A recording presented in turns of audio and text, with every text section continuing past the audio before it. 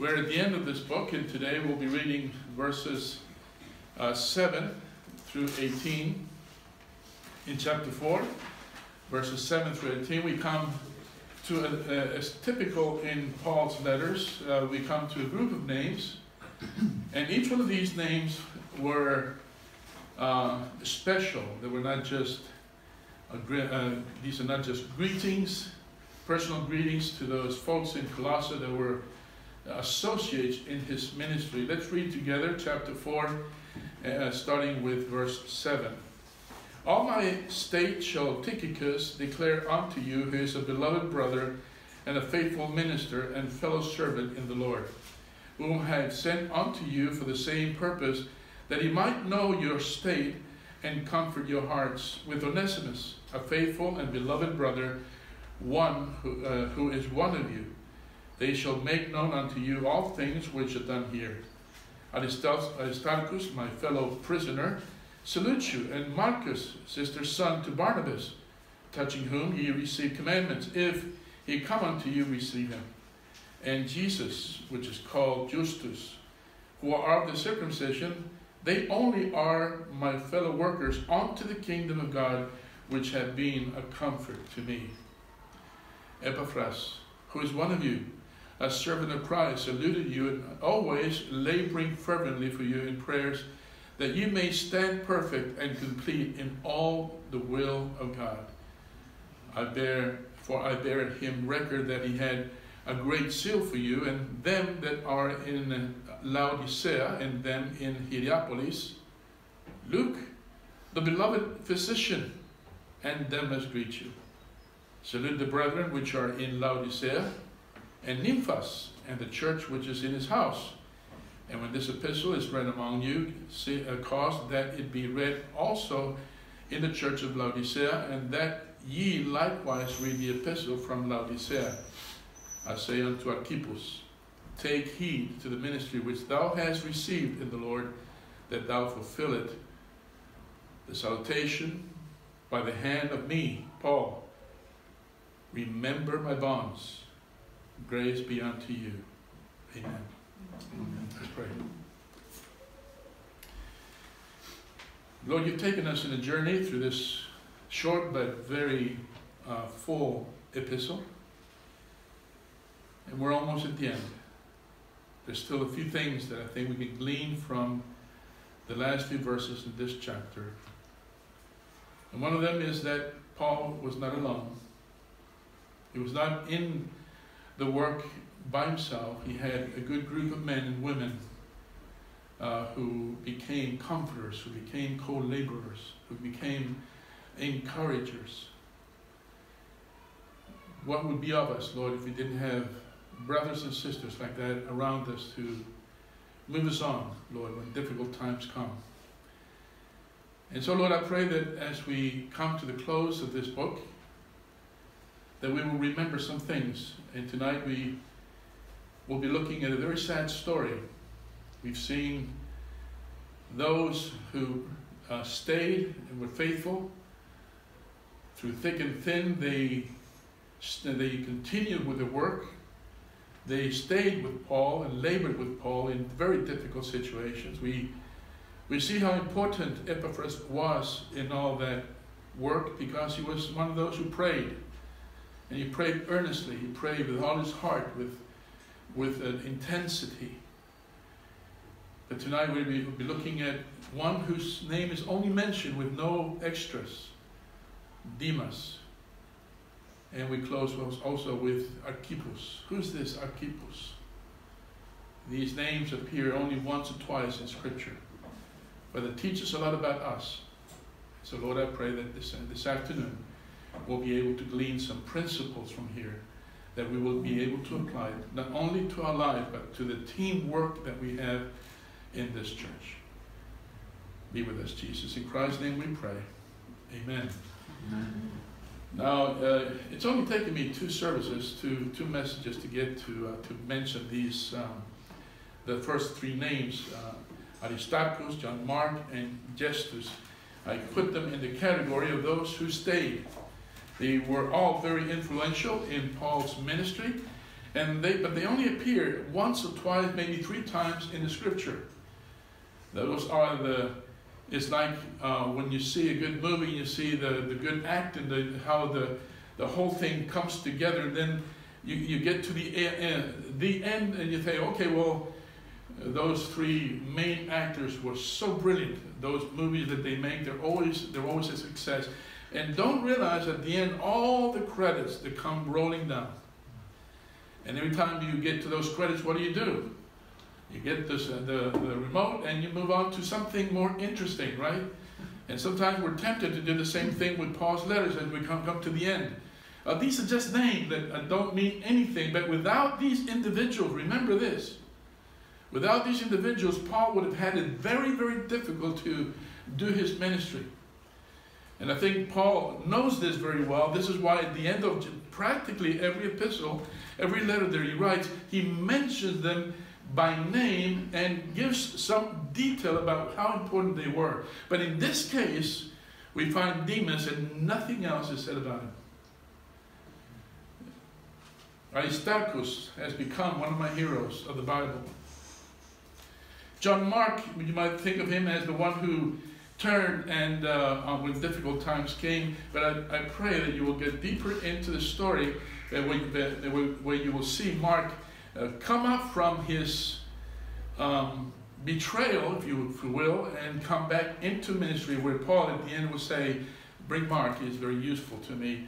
And this individual only mentioned here, Jesus uh, or Justus, uh, hardly we know very little about them. These are all Jews. And of course, we've been looking at Epaphras. Uh, he's uh, probably the one who started the church in, in Colossae and probably uh, the other two churches, house churches in Laodicea and Hierapolis. We know quite a lot about Luke, and we only have about, I think, three references about Demas. And so my outline is very clear. The man who stayed, the man who prayed, but you don't want to be in the category of the man who strayed. Uh, Steve was very uh, effective choosing one of the songs that, you know, help me, Lord, when I stray. Now, I also want you to be careful about judging Demas too hard because we don't know the end of the story. We do have uh, what happened with, with, with John Mark because Paul writes about him, him coming back into the team and getting back to work, but we don't know anything about how what happened, what, what was the end of Demas. But we do know several things. We have Demas mentioned three times in Paul's letters, and these references are quite encouraging. Uh, two of the references are very encouraging. The end is a very sad story. First, he is called Demas, my fellow laborer, and is linked, he is linked to the good men, uh, Marcus, Aristarchus, and Luke. We see, you see that in Philemon, verse 24. These are the men that um, uh, Paul carried with him in most of his trips. Demas is included there. And so far in, the, in this, in Paul's travel, he's done well. Paul has no doubts about him. Uh, he's, uh, um, he's a fellow laborer. He's laboring together with Paul, and he seems to be doing very, very, seems to be doing it very effectively. The second time, he just called Demas, and this is where we find him here. And Demas, Notice that there's nothing added to him. Luke, we, we see that he's the beloved physician. And Demas, he says hi. No special words of identification, nothing about condemnation with Demas, but just simply he's here and he says hi. But the third reference is a very sad one because in 2 Timothy chapter 4 verse 10, later on in Paul's travels, we see that Demas had forsaken me. And the reason why he had um, uh, backslidden was because he started looking outside the ministry, looking at the world, at the attractiveness of the things of the world. He said, it says, having loved these present world. So at one point, remember, Mark also forsake the Apostle Paul. But he was later reclaimed. and restored. But Demas, now we find him here, nothing said about him, nothing bad, nothing good, just simply he's going to fill in the space. I think something's going on in his mind. Paul, I wonder, now I'm only speculating, but he's not saying anything about Demas, only he's here just saying, hey, say hi. I'm wondering if, if he's already um, considering leaving the Apostle Paul. So, what was his sin? What made him depart? It says he loved the present world. Now, I've heard some uh, commentators saying, oh, that's because he was never really saved. I don't know whether, if that's true, then none, none of us can be sure about our salvation. Because who knows, maybe tomorrow you will also um, uh, stray away. Then we can say the same thing about you. But, well, maybe he was never really saved. He loved the present world. We know there's a lot of churches today with people who still attend church who love the present world. And you can see by what they do. They do very, very little. All they do is go to church, maybe think that that's all they their responsibility is, and then really do very little in, in uh, as far as ministry is concerned. What was wrong? What was happening in the life of Demas? Well, the world enticed him.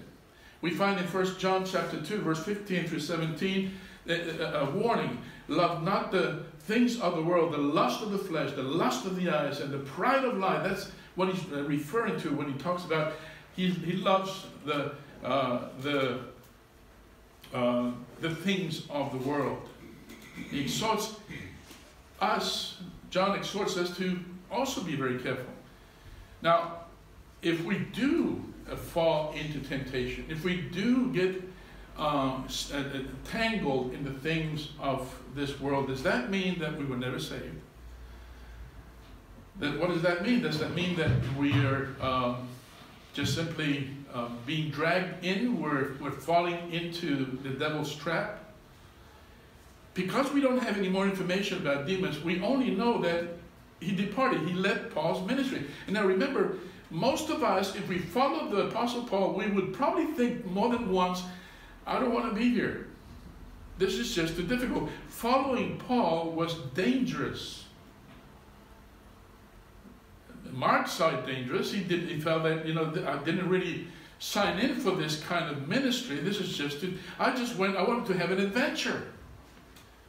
I wanted to uh, uh, serve the Lord. But then when you see that uh, the devil comes with his fangs sticking out, and and it can mean it can mean death. Then you know, uh, I wonder how we would respond to a situation like that. Demas was in the same situation. It wasn't easy to follow the Apostle Paul, and he started looking outside of Paul's ministry. And he thought, you know, the world seems to be enjoying themselves, and look in what situation we're in. And he and he started thinking about this and he started attracting him more and more until one day he just didn't have the spiritual um, uh, energy to say, Paul, I'm going to stick with this no matter what happens. No, he came to Paul one afternoon and said, Paul, I can't do this any longer. I wonder how Paul's heart felt. Heartbroken, knowing what I know about Paul, he probably stood there and sat with Demas and said, Demas, you've been with me all this time. I know it's hard, but I, we, we know that, you know, doing this uh, for the Lord was going to be hard. There's going to be challenges. There was going to be difficulties. We knew about this. This is not new. Demas probably uh, saw what happened to John Mark. You're going to do the same thing, Demas? I don't know what conversation he had with Demas, but it wouldn't be one that would leave the Apostle Paul with a smile on his face. so we have this very sad story, not sad so far, but later on, as we see it in uh, 2 Timothy chapter 4, verse 10, we see what uh, Paul says about Demas. He's not with me anymore. He's following the crowd. So we have the men who stayed. Are you one of those? And stayed, not just simply come and sit through the service, but come, stayed and, and fought together with the rest of the brothers who are doing ministry. Those who stayed, those who understand how difficult it's going to be, but we, we count with God's uh, um, protection, we count with God's approval. We identify with Christ and His sufferings. Are we, are we that kind of Christian? When things get tough, like Aristarchus, do we stick with those who are fighting? Remember, Aristarchus was one of those who stuck with Paul all the way through from Ephesus, all the way through the voyage to Rome, through that shipwreck, and later on became uh, one of Paul's fellow prisoners voluntarily. I asked one time, how many of you would, if I, they put me in jail because of ministry, how many of you would come and uh, spend some time with me in prison? I, uh, I think Dorothy said, I'll pray for you. Mom said I'll bring you a cake. What then? I said I'll bring you a cake. I'll bring you a cake. Well, that make that will make a difference. Those stayed. I would I would like to be counted with that group. How about you? Well, say you say, Pastor, I you know I'm I'm willing to go uh, wherever, but uh, right now I don't think I can I can do uh, any of those mission trips. But you know what? I can I can pray, and I can pray earnestly with intensity uh, laboring in prayer, as we see there in verse 12, uh, always laboring fervently for you in prayers, praying that those who stay and those who go into the mission field will stay strong, will be protected. We need prayer warriors in the church. I ended one of the messages with uh, uh three ladies that I met in Vacaville, California, very old ladies, but boy, did they impress me. Even 27 years later, I'm still talking about them. They're probably with the Lord today. But the smile, the sneaky smile that they had and what they said about themselves, we are prayer warriors. I looked at them and as I thought, they, they don't look like warriors. But they said, we will pray for you, Brother Perez. You're going to need more than just financial support. You're going to need someone who is effective in knocking on the doors of heaven coming before the throne of grace.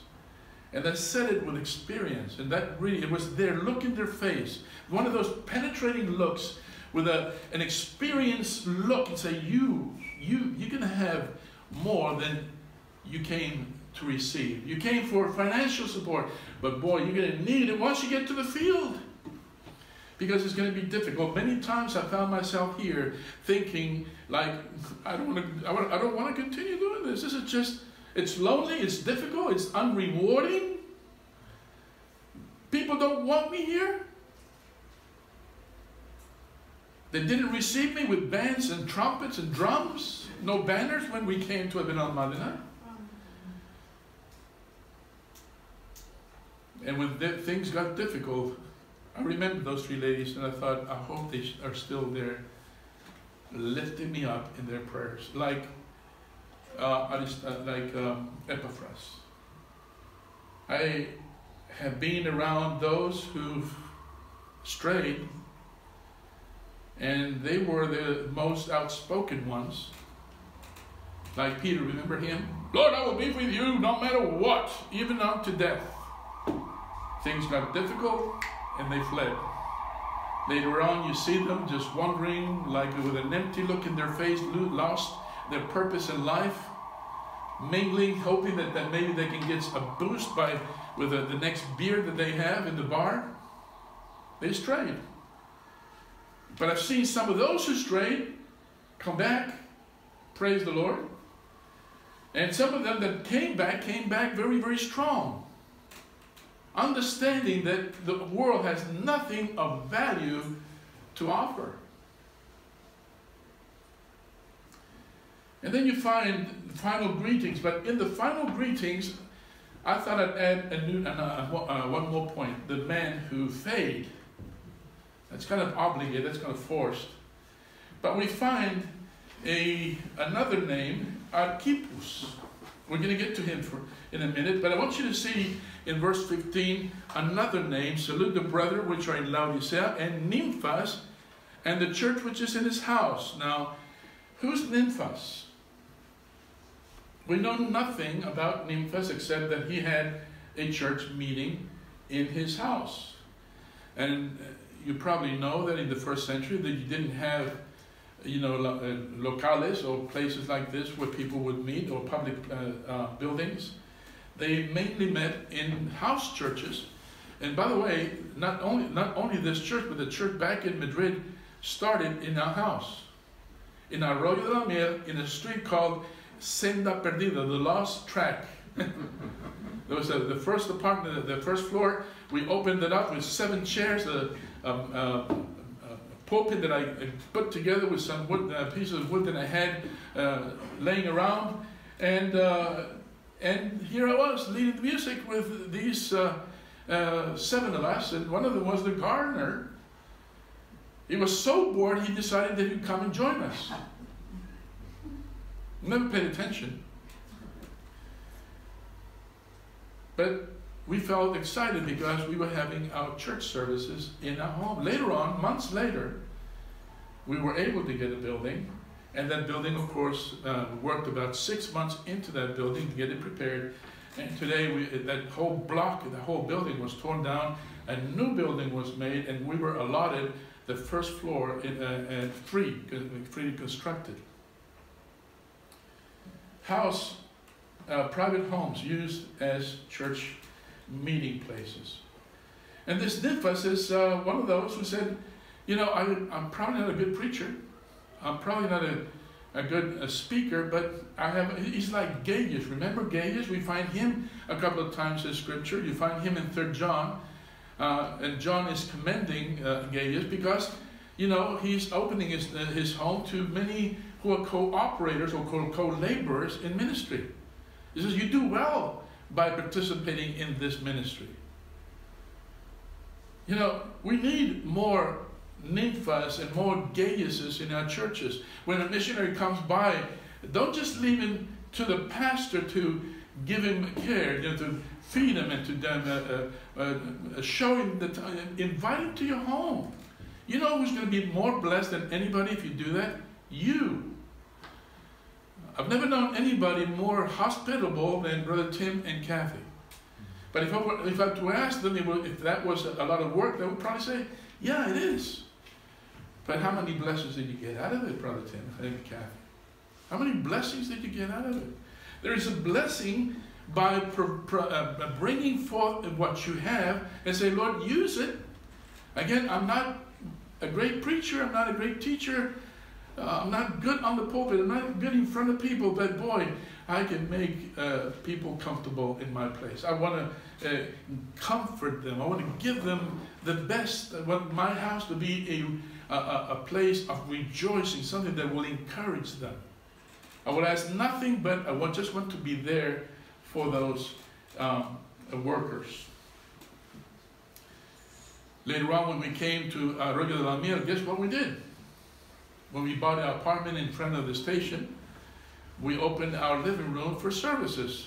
And it started the same way, seven of us, uh, two kids, Maritza, myself, uh, an English lady called Mary, and uh, uh, who was there? Some, somebody else, I can't remember, it was, it's been 27 years. But this is how we, with some folding chairs that we had there, uh, in less than a year we had 21 people in our living room. And we were doing very good, on, except when the elevator broke. Nine floors, uh, having to uh, climb uh, nine floors and then start singing is not a good, it's not a good thing. Okay, everybody's excited. let's start singing. Uh, I said, no, well, let, let's give five minute break so people can rest. It started that way. One year, uh, while we were working in that house church, we were still working in this building. And this is what's going on in the first century. Although they didn't have official public buildings where they could meet, they still had homes where they could uh, meet for services, private homes. And they used them for, for, for, for fellowship. By the way, there's several other uh, verses that gives us the same example. For example, you, you probably heard of Priscilla and Aquila. They were the kind who said, you know, they were, they were good uh, uh, counselors, but they also were the kind of people who said, you know, uh, we have a pretty, pretty big house. We can uh, host uh, services. What a privilege it would be for you to come to our house and have services. These are two examples in Romans 16.5 and 1 Corinthians 16.19. It says, Priscilla and Aquila, in whose home the, the church meets. So Paul's great concern was that the Word of God be read, studied in these churches. I want you to pay attention to verse 16 because we find something here that you might misinterpret. It says, and when this epistle is read among you, remember, they didn't have a, a, a Bible per person. So the idea would be actually what we just did here today. They would read publicly from one copy. They were pretty fortunate they had one copy. But it wasn't like you go home and read this, or maybe uh, each one read a verse. No, it was the, there was public reading, read among you. Uh, it, it, that means to read aloud among the brethren. And so, again, you know, we enjoy today the privilege of having not one Bible. I have, I think I have 15 Bibles on my rack, both in Spanish, English, and other languages. We have so many Bibles today, but I wonder if we take advantage of the reading at home.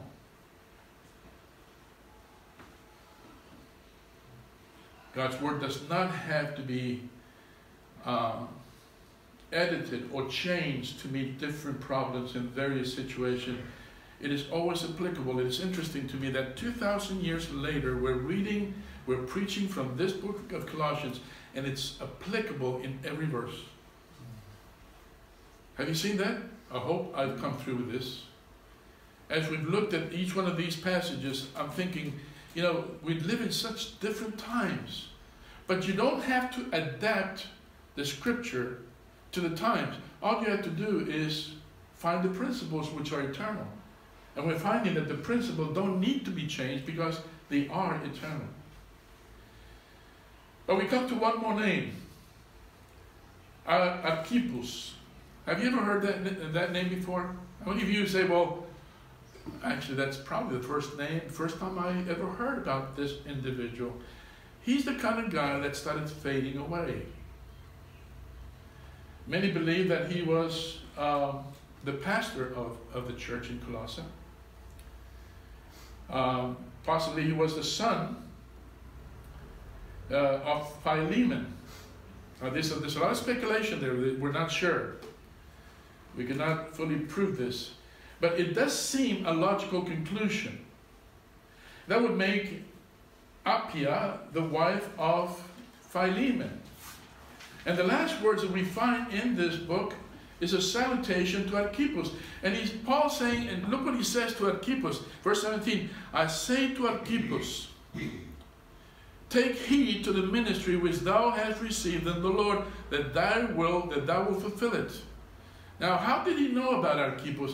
I'm pretty sure it was Epaphras who said, uh, Brother Paul, you know, we left this brother Archippus there, but, you know, things are very, very difficult over there in Colossae. Uh, the Gnostics have been uh, giving us a really hard time. The, the syncretists are coming in from every direction. It seems to be a, a constant battle. And Archippus is just finding very, very difficult to continue in the work that he was called to do. And Paul says, well, you know, I, I understand that. I understand how difficult it can be. We don't need to tell him off. Bad boy, Archippus, but we do need to encourage him. Continue doing the work. Don't fade away. Don't give up. Don't throw the towel. Just keep pushing on. Archippus uh, you've received the gift, the gift of ministry. Make sure that you will comply all the way to the end. Don't give up. When this letter arrived and Archippus uh, got to hear what Paul said, you think he would be discouraged or encouraged with Paul's words?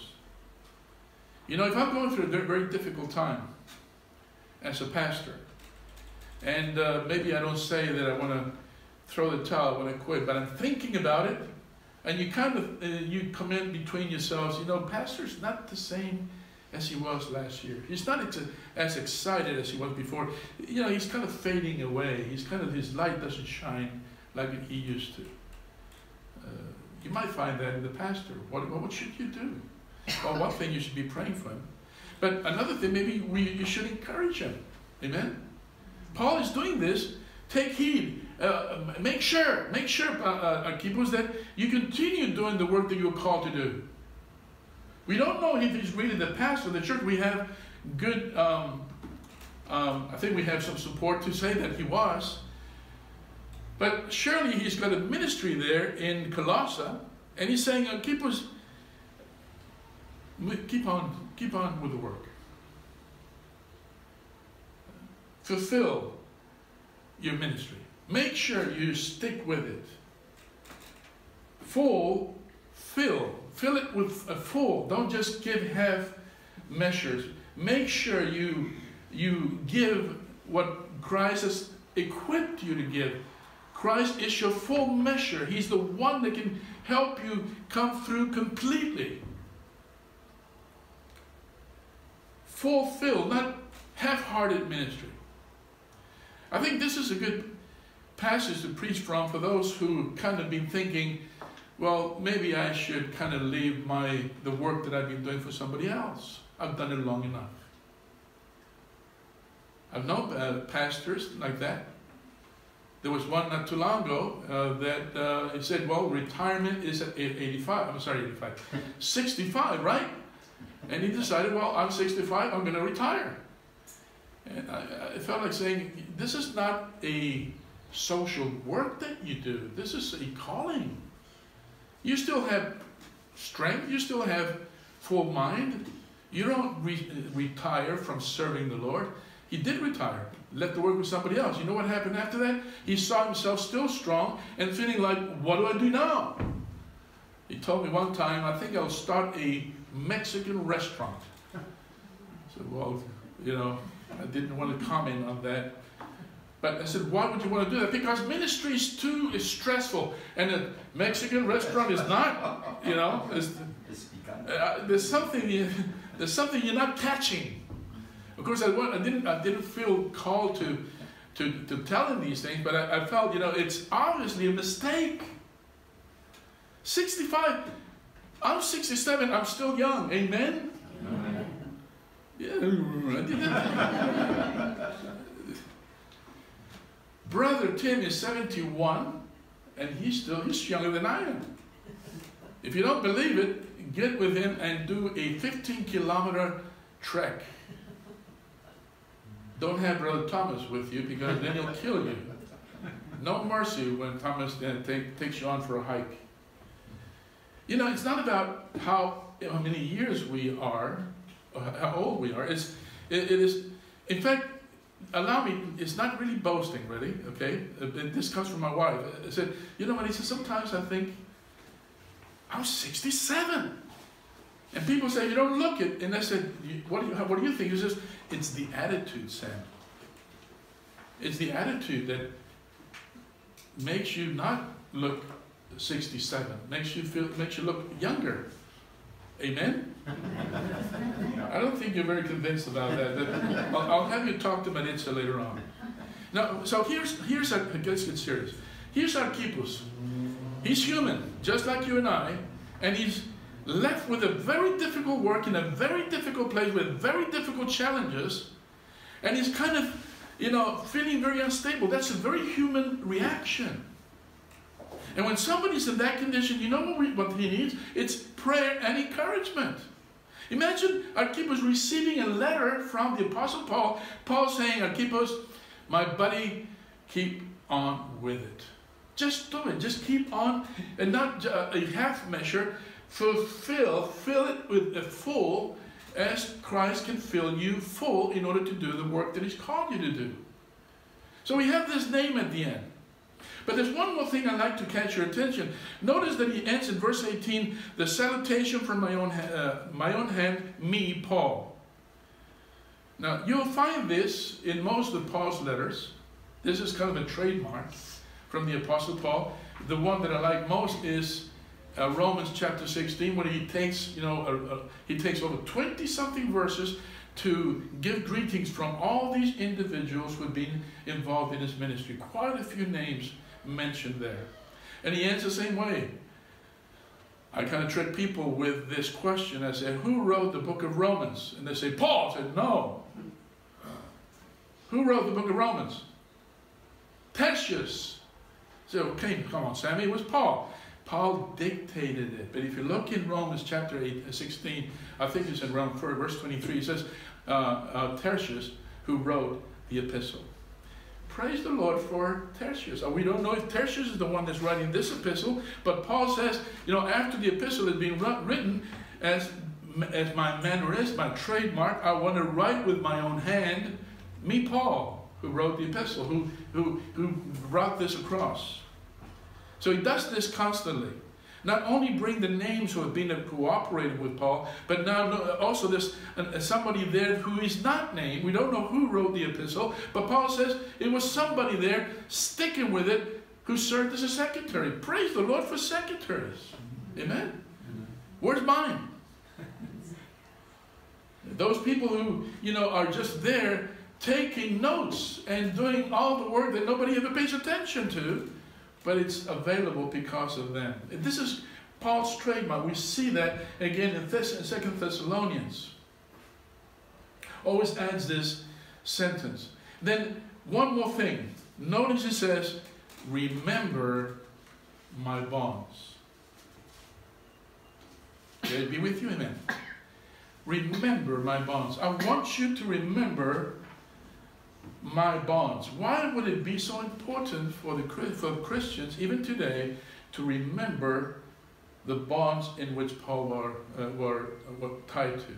Well, I think there's several reasons because those bonds were a reminder of his love for the lost souls, especially the Gentiles. As it says in Ephesians 3.1, he was a prisoner of Jesus Christ for the Gentiles. The second reason I think he said, mentions this, Paul's bonds were evidence of his obedience to the Lord and his willingness to pay any price so that the Gentiles might hear the gospel. Praise the Lord for those bonds. In fact, in Philippians, he talks about the bond, his bond saying, you know, I've been put here in prison. At first I didn't understand why. In chapter 2, I think it is. But now I rejoice in my bonds because it's giving those who are free encouragement. They find it that they find themselves more bold to share the message. I wonder how Paul's prayers uh, sounded like while he, when, when he was first thrown into prison. Lord, I'm more useful out there than, than I am out here. I don't understand what I'm doing. You can bring me out just like you did with Peter, but you have me in these bonds. And then he started hearing other believers who were free talking about how Paul's um, uh, uh, strength, how he gained strength from that, and continued sharing the gospel with those around him, his, uh, other prisoners, in the, and, and, even I'm sure uh, the soldiers in those in those uh, in that jail. So the the believers who were free, saying, you know, we are free to share the gospel and we're not doing it because we're afraid. And here's Paul in bonds doing the work. How, how shameful this is for us. And so uh, they gained uh, encouragement by seeing how Paul dealt with those bonds. And in those bonds it says, Be careful for nothing, chapter 4. But in all, with thanksgiving, pray. Then later on, honey, so it's unload your worries. And then he says, and just like you've seen me do, think of these things. The good, the, the uh, lo bueno, agradable, this, I can't, I can't say it in, Spanish, in English, I'm sorry. But all those things, think, those things that you've seen in me and do, do the same thing. And the God of peace will be with you. Unload your burdens. You have the peace of God with you. But then fill your mind with those things that pleases God, and the God of peace will be with you. You want both in your life. Paul says, don't forget my bonds. And he doesn't say this with regret. it's like a crown for him. He doesn't say anything else. He just ends this, this epistle with, Grace be with you. Amen. Well, I don't know about you. I want another, I want second Colossians. I've enjoyed this so much, and um, you know, it's the one that preaches, the one that gets more from the scripture. And I have been encouraged. I've, I've read this epistle in 27, in, in 43 years. Uh, I, I, don't know the number of times, but only through, so by preaching from from it, guess who's benefited more? Right here. So when I go to heaven, I'm going to say to the Lord, Lord, how come you didn't inspire Second Colossians? First Colossians was so good, I wanted more. But then again, you got Ephesians, which is parallel to Colossians. And I've been tempted to preach from Ephesians. I don't know if I'll do that or not, but you know, I, I want you, but I want to close this epistle by saying this. Don't neglect anything in Scripture. If you see a verse that's very difficult, try to find parallel verses to see to see why why the Lord put these things here. Uh, I'm trying to get, become more acquainted with the names that you find here. Archippus, um, he needed encouragement. Uh, Nymphas, uh, thank you, brother, for providing your house uh, so that other brothers could meet and be encouraged with the word.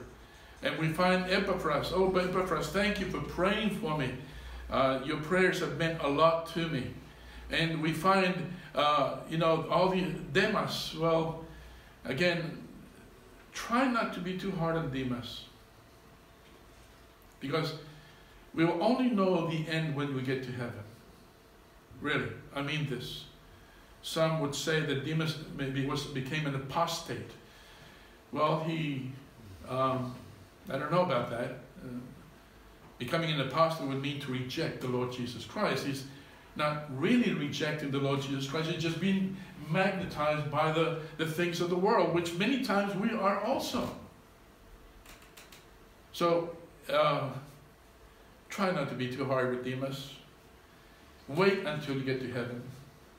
You might find that Demas came back and became one of the best evangelists that ever existed because he understood that the world had very little to offer. When you come to Luke, maybe one day when you get to heaven, eh, you know, I'm going to be one of those who say, Thank you, Luke, for having been with Paul from the beginning to the end. You're the kind of individual who doesn't do missions because it's attractive, that doesn't follow a hard-working missionary because he's a nice guy. You be with Paul all the way to the end. And we come to other names. Aristarchus, boy, I, would, I really want to meet Aristarchus. When I, when, I, when I say, hey, Aristarchus, how you doing? He says, you, first of all, first of all, you mentioned my name wrong. You pronounced it wrong. Second, what you see there is only a very small part of all the things that happened while I was following the Apostle Paul. But I, I want to stretch his hand because he's really been an inspiration to me. And all the other names, I've become, I've fallen in love. Tychicus, Onesimus. I wouldn't like to give my grandchildren these names. they would be picked at school by all the other kids. But boy, have they become, these names now are in uh, neon lights in my Bible. I've marked each one of them in a very special way because they become very, they become part of the family. They're part of, they, they, they have helped me understand what ministry is all about. The end. I don't want it to be the end.